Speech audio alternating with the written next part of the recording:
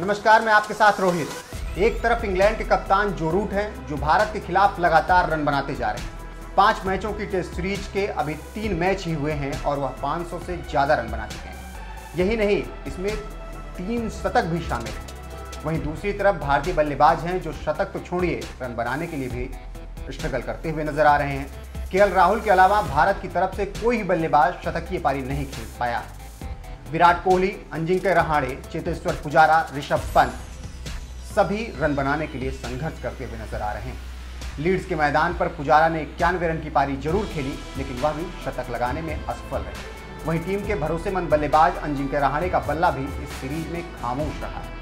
Test team के उपकप्तान अंजिंक्य रहाणे तीसरे test की दोनों पारियों को मिलाकर कुल 28 रन ही बना सके रहाणे की फ्लॉप बल्लेबाजी के चलते इंग्लैंड के पूर्व कप्तान माइकल वान ने रहाणे को टीम इंडिया के लिए सबसे बड़ा सिरदर्द बता दिया है। यही नहीं, उन्होंने तो रहाणे को प्लेइंग इलेवन से बाहर करने की भी सलाह दे डाली।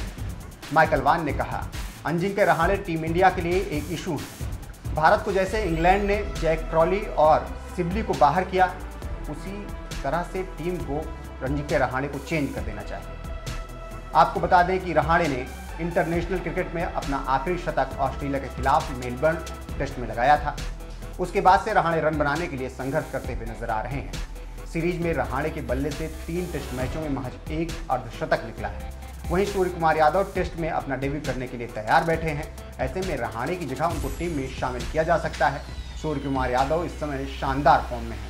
वह श्रीलंका के खिलाफ खेली गई वनडे सीरीज़ में मैन ऑफ़ द सीरीज़ रहे थे। इसके अलावा सवाल भी लगातार उठ रहे हैं कि अंजिम के रहाणे अगर फॉर्म में नहीं है तो उन्हें बाहर कर सूर्य कुमार यादव को टीम में शामिल किया जाना चाहिए।